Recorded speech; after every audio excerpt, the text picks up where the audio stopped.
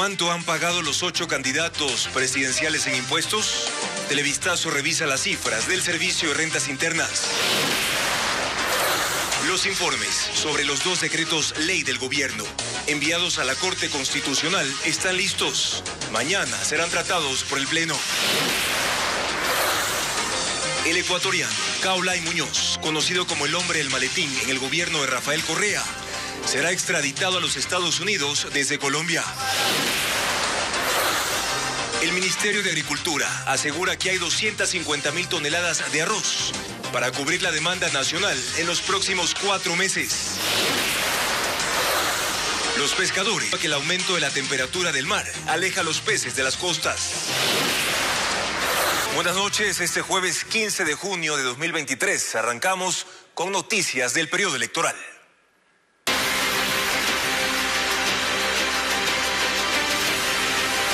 Elecciones 2023. Impuestos, debate e impugnación. Hay ocho candidatos presidenciales inscritos, pero ¿cuánto han pagado en impuestos? Conozcamos esos rubros en el siguiente informe de Patricio Díaz. La mayor parte de los candidatos presidenciales han pagado impuestos los últimos años. Unos más, otros menos.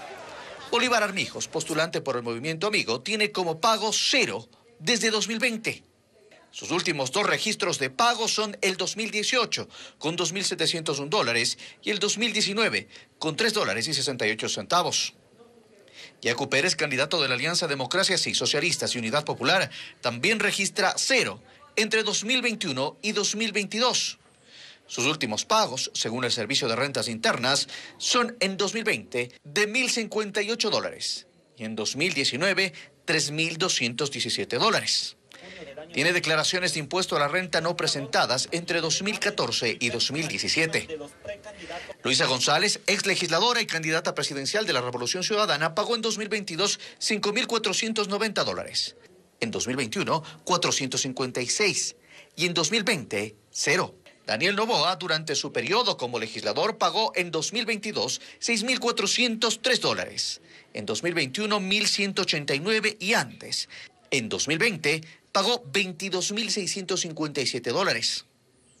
Fernando Villavicencio, otro ex legislador y ahora candidato a la presidencia, pagó en 2022 6.684 dólares, en 2021 527 y en 2020 cero. Otto Sonnenhorstner, ex vicepresidente, pagó el año pasado por impuesto a la renta 16.148 dólares. En 2021 fueron 11.130 y en 2020 22.773 dólares. Javier Herbas, empresario y candidato de reto, fue acusado el año pasado por el presidente Lazo de evadir impuestos. De los 1.033 dólares que pagó en 2020 y 4.289 en 2021, pasó a pagar 22.951 dólares en 2022. Jan Topic en 2022 pagó 26.719 dólares. En 2021, 40.680. Sus pagos se redujeron entre 2019 y 2020 y tiene registros de haber pagado en 2016 4.6 millones de dólares y en 2018 1.9 millones de dólares. En cuanto al impuesto a la salida de divisas, los que más pagaron el año pasado fueron Daniel Novoa, 4.140 dólares, y Otto Sonnenholzner, 3.205. Así evolucionaron los pagos de impuestos de quienes aspiran a la presidencia de la República.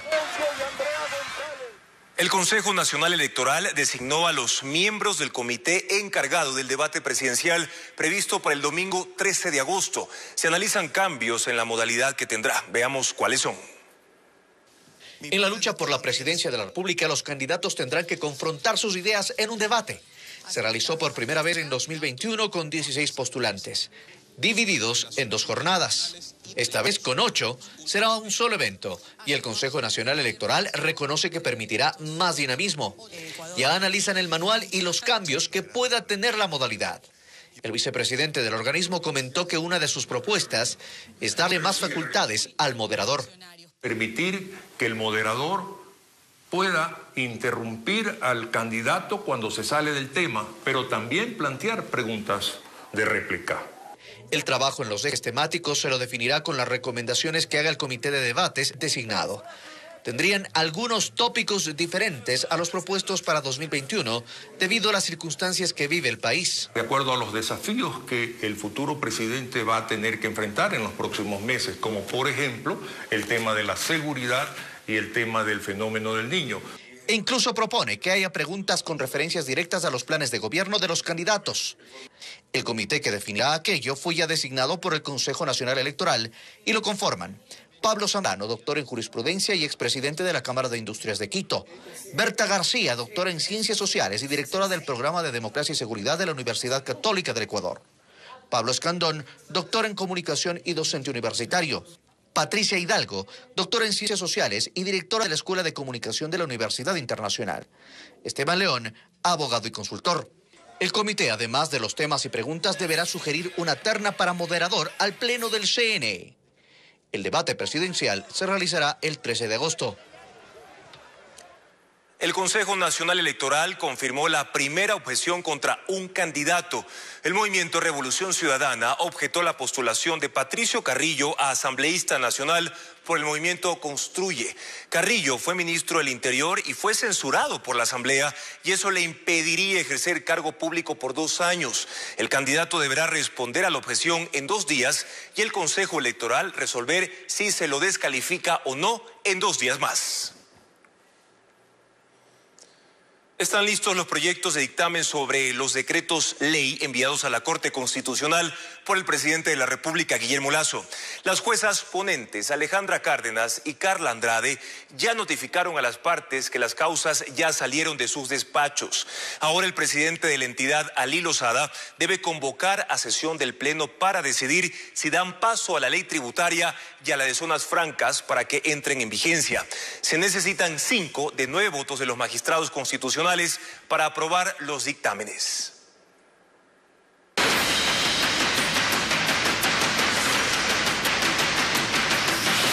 Cambio climático. Los efectos en el mar. En seis meses. Para cubrir los gastos de logística.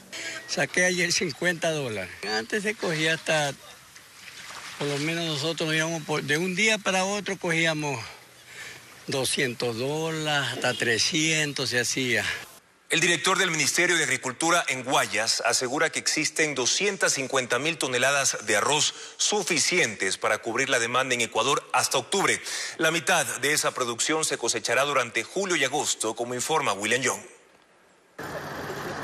En el país existen 200.000 hectáreas con cultivos de arroz. Por eso el Ministerio de Agricultura descarta el desabastecimiento, al menos en los próximos cuatro meses, porque según el director distrital en Guayas, César Villavicencio, de acuerdo al rendimiento promedio de los últimos cinco años, toda esa tierra producirá unas 250.000 toneladas.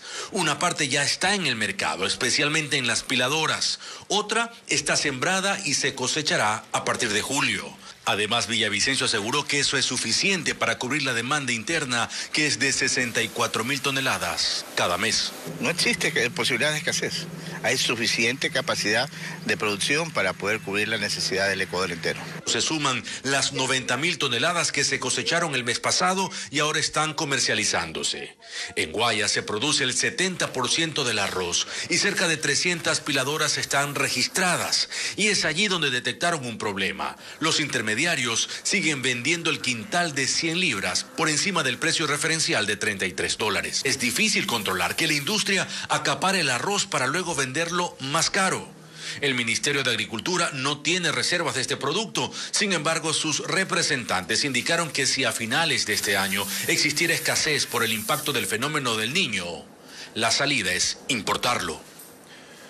Y precisamente por el fenómeno del niño, la demanda de energía en el país se incrementará en 400 megavatios. Ante el riesgo de apagones, la Corporación Eléctrica del Ecuador importará gas y combustible para generación térmica. Paul Romero con el informe.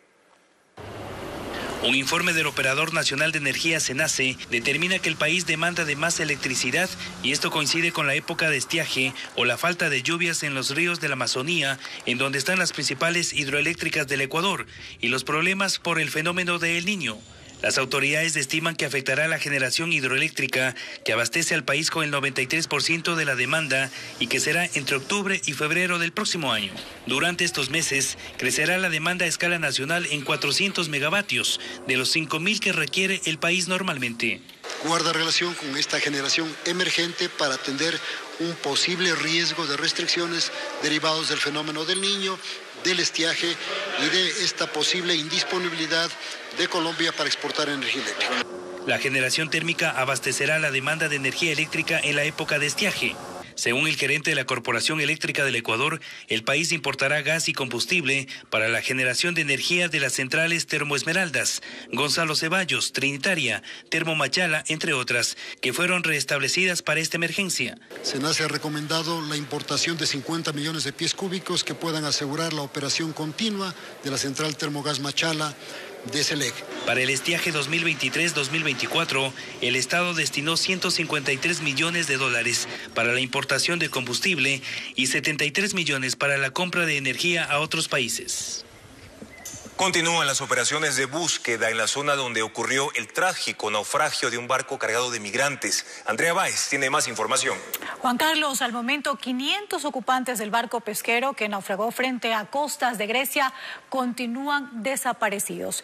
La nave se hundió sin dejar rastros y se cree que muchos estaban encerrados en las bodegas cuando ocurrió la tragedia. Pedro Jiménez detalla cuántos cuerpos se han encontrado hasta ahora. Las operaciones de búsqueda continúan por segundo día, pero sin éxito. Por aire y por mar, brigadas de la Guardia Costera recorren la zona del naufragio donde fueron recuperados 74 cuerpos y donde 104 sobrevivientes fueron rescatados. Pero faltan más, porque en la nave iban unas 700 personas, muchos en la cubierta y otros en las bodegas. Este hombre, un refugiado sirio de 34 años que vive en Alemania, viajó a Grecia apenas supo de lo ocurrido. Su esposa y su hermano estaban a bordo. Dijo que la última vez que hablaron fue hace ocho días, cuando ella le dijo que estaban preparándose para subir a un barco de contrabandistas después de pagar 5 mil dólares por cada uno. Pero sus parientes no están entre las víctimas fatales del naufragio, tampoco entre los rescatados, y las posibilidades de hallarlos con vida son ahora mínimas. Autoridades griegas temen que cientos de personas, incluidas muchas mujeres y niños, puedan haber quedado atrapadas debajo de la cubierta cuando el pesquero sobrecargado se viró y hundió durante la noche. Las personas rescatadas, mientras tanto, reciben atención médica en centros habilitados por organismos civiles. Esta voluntaria dice que la situación de muchos no es buena, que tienen serios problemas de salud, laceraciones en la piel, quemaduras y que hacen lo posible para que se recuperen. La Corte Suprema de Grecia ha ordenado una investigación para conocer las causas de la tragedia y si hubo o no negligencia y demora para atender llamados de auxilio desde la nave. Más adelante en Televistazo, el ecuatoriano conocido como el hombre del maletín será extraditado desde Colombia hacia Estados Unidos. ¿Por qué motivos? Le mostraremos su historial.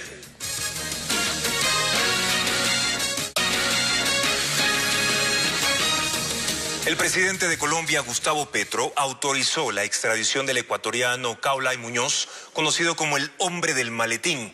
Desde junio de 2022 está detenido en la cárcel La Picota de Bogotá, acusado de tráfico de drogas ilícitas. Paul Romero amplía esta noticia. Mediante resolución ejecutiva publicada en el Diario Oficial de Colombia, el presidente Gustavo Petro concedió la extradición del ecuatoriano Caolay Muñoz Gallón a los Estados Unidos deberá comparecer a juicio ante la Corte Distrital Sur de Nueva York. Kaolay Muñoz es acusado por la justicia de ese país por tráfico de cocaína. En junio de 2022 fue detenido en Nariño, frontera con Ecuador. Él está en prisión en la cárcel La Picota de Bogotá mientras se concreta la extradición. Muñoz tiene un polémico historial en el país. En 2008 se le acusó de mover 3 millones de dólares para intentar comprar votos de alrededor de 20 asambleístas de la Revolución Ciudadana para evitar la aprobación de la Constitución de Montecristi. En febrero de 2009 la Corte Nacional de Justicia lo absolvió por falta de pruebas. Un año después, fue detenido en el aeropuerto de México por el movimiento de aproximadamente 100 mil dólares en efectivo con destino a Colombia. Desde entonces, la Administración de Control de Drogas de Estados Unidos le siguió los pasos por ser parte de una red internacional de narcotráfico que movía millones de dólares. Tras su detención, el gobierno de Estados Unidos solicitó su extradición. La policía señaló que todo el proceso judicial contra el denominado hombre del maletín se desarrolló en el vecino país y que fue la fiscalía la que investigó en el Ecuador. La Corte Nacional de Justicia reactivó la extradición del exsecretario del correísmo Walter Solís, sentenciado en el caso Sobornos, quien está en México. El presidente del organismo reúne la documentación para hacer la solicitud a las autoridades de ese país. Informa Jacqueline Rodas. El exsecretario del Agua, Walter Solís, enfrentará nuevamente una petición de extradición que prepara la Corte Nacional de Justicia. En primera instancia, el trámite se anuló porque Interpol lo ubicó en Estados Unidos, pero luego salió hacia México. Ahora el Tribunal de Ejecución del caso Sobornos reactiva el proceso porque Interpol México comunicó oficialmente que Solís registra su ingreso el 26 de febrero de 2020 y sigue en ese país. Los jueces enviaron la petición al presidente de la Corte, Iván Saquicela, quien al momento reúne los requisitos para solicitar a las autoridades mexicanas que lo detengan y extraditen a Ecuador. Sin embargo, en su momento la defensa de Solís hizo público que México le otorgó refugio. Saquicela asegura que eso no impide que el trámite siga, aunque dice también dependerá del trabajo diplomático que haga la Cancillería. Walter Solís tiene calidad de prófugo por su condena en firme de ocho años de prisión por el delito de cohecho en el caso Sobornos, al igual que el expresidente Rafael Correa, Jorge Glass y otros exfuncionarios de ese gobierno. Y tiene una segunda sentencia de ocho años de prisión por peculado en el caso Senagua que lleva dos años pendiente de apelación. Este jueves debía instalarse la audiencia, pero se volvió a suspender. La fiscal Diana Salazar solicitó que se aclare si Allen Berbera, actual presidente del Consejo de Participación, sigue siendo abogado de Solís. El tribunal dispuso que eso se aclare y anunció que volverá a fijar la diligencia este mismo mes. El Consejo de la Judicatura da marcha atrás y deja sin efecto la polémica directriz que prohibía a los jueces compartir los enlaces de sus audiencias públicas. Elaborarán una nueva normativa con la participación de los magistrados. Queda sin efecto la polémica directriz que prohibía a los jueces compartir los links de Zoom de sus audiencias públicas. La ola de críticas llegó al Consejo de la Judicatura. Su presidente, Wilman Terán, recibió en reunión al titular de la Corte Nacional de Justicia y a varios jueces que impulsan la transparencia en sus audiencias telemáticas y presenciales. Uno de ellos, Telmo Molina, quien lleva tres años abriendo al público las diligencias que dirige. Las personas que estamos compartiendo los links lo vamos a seguir haciendo ya sin temor a ningún tipo de sanción. La decisión de dar marcha atrás fue celebrada por la presidenta de la Corte de Azuay, quien denunció que recibió advertencias de funcionarios administrativos sobre posibles sanciones y seguía publicando los enlaces de las audiencias. Y ya no estamos en la época en que las resoluciones se dictaban entre cuatro paredes y que nadie conocía cómo y por qué resolvíamos. En este momento nosotros estamos tranquilos porque se vuelven a transparentar nuestras decisiones en audiencia. Se espera que en un mes se llegue a un consenso para una nueva normativa. Además, la Asociación de Magistrados y Jueces del Ecuador informó que mantuvo otra reunión con el Consejo sobre otra resolución controversial relacionada con el traslado de jueces. En ese caso, aspiran que Wilman Terán acoja sus observaciones. Entre hoy y mañana se lleva a cabo una feria laboral virtual que ofrece 1.300 vacantes de trabajo en el área comercial y de ingeniería. Sin embargo, los interesados reportaron que la página colapsó. Fabiola Santana con los detalles. Se trata de la Feria Laboral Virtual 360, que ofrece 1.300 vacantes en 25 empresas a escala nacional, dedicadas a la elaboración y comercialización de comida rápida, confites, cemento, farmacéuticas y otras. Hay disponibilidad para vendedores, asesores comerciales, ingenieros y agentes telefónicos. Los interesados deben registrar sus datos en la página Talent 360S y aplicar a las ofertas en el portal web ferialaboral360.com durante este jueves y viernes. El programa está dirigido a jóvenes, pero adultos como Ernesto quisieron postular por la falta de empleo. Sin embargo, luego de una hora de intentarlo, Ernesto no pudo revisar la oferta laboral. En redes sociales, los usuarios reportaban el colapso de la página por el elevado número de interesados. Según los representantes del proyecto, 60 mil personas se inscribieron y 20 mil ingresaron en este primer día. Desde que llegué, que son como unos cinco meses que estoy buscando más o menos, aplicando y tal, y no, la verdad que no, no, no se encuentra mucho trabajo. Por eso creo que muchas de las personas también optan por eh, ser independientes o por buscar empleo a, a, a su manera. Por esta razón, la página estará habilitada hasta el domingo. En Ecuador, 7 de cada 10 ecuatorianos no tienen empleo adecuado. El proceso para adopción de niños es más ágil en Ecuador. Sin embargo, hay decenas de menores en casas de acogida a la espera de que sus casos sean resueltos. Un informe de Carla Algado. El gobierno ofreció reducir los tiempos para que un niño pueda ser adoptado.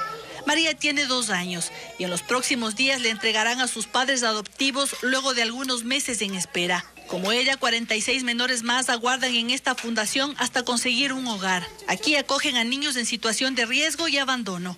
Explican que el trámite de adopción ahora es más ágil. Sin embargo, hay procesos que aún deben mejorar de parte de los jueces, en donde eh, es necesario que ellos tengan un poco más de rapidez o agilidad de parte de las investigaciones que se realizan con respecto a los casos de cada niño. Hasta hace poco este trámite duraba incluso cinco años, según explica el ministro de Inclusión. Hoy por hoy tenemos promedios entre 11 meses, 10 meses, hemos tenido casos hasta de siete meses un proceso de adopción, cumpliendo parámetros exigibles. Agrega que los pasos siguen siendo los mismos, es decir, ocho.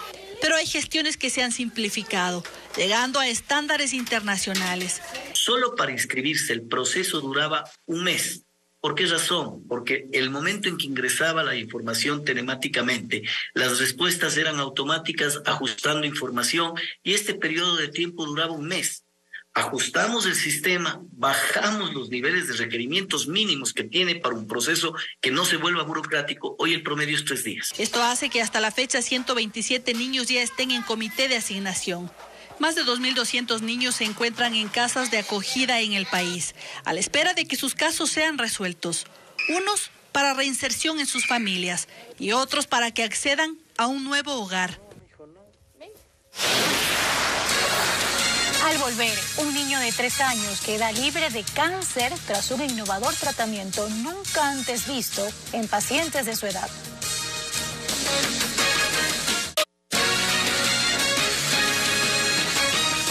La inseguridad que afecta también a los establecimientos educativos moviliza a las autoridades policiales y el Ministerio de Educación.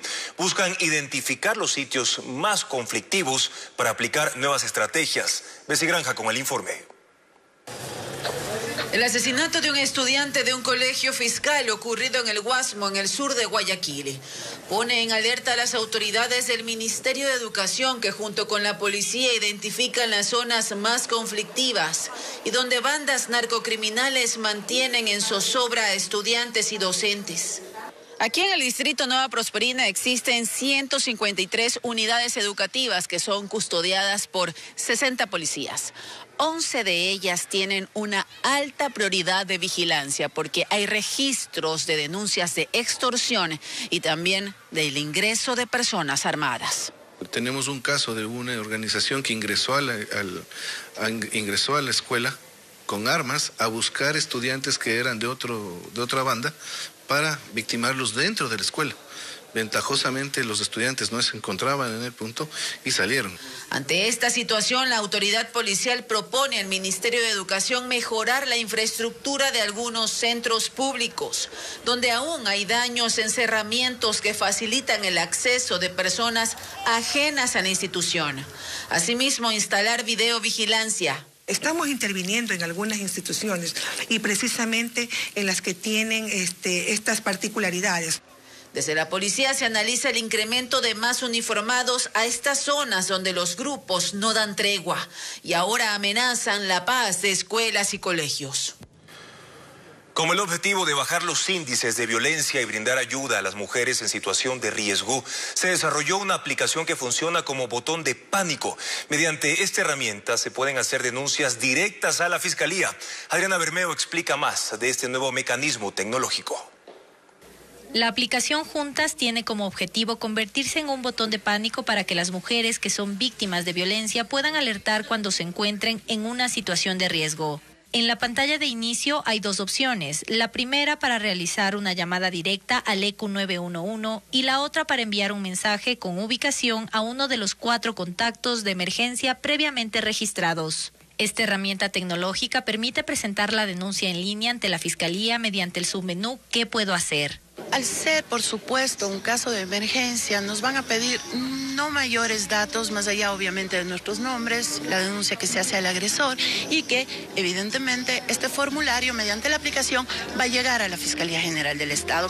La aplicación cuenta con herramientas como información de casas de acogida, centros de refugio, contactos para asistencia legal, servicios de protección integral por provincia y test relacionados con el acoso laboral, dependencia emocional y situaciones de violencia. Este es el tercer lanzamiento de la herramienta tecnológica que existe desde el 2015. Luego se presentó en el 2020 cuando inició la pandemia. Se necesitaba hacer unas nuevas imágenes, hacer nuevos servicios, dar mucho más información. Los ajustes en la aplicación se hicieron con el apoyo de la Corporación Nacional de Telecomunicaciones, las Naciones Unidas, Cooperación Alemana y la Sociedad Alemana GIS. La herramienta puede ser descargada gratuitamente de las tiendas Play Store de Android y la App Store de iPhone.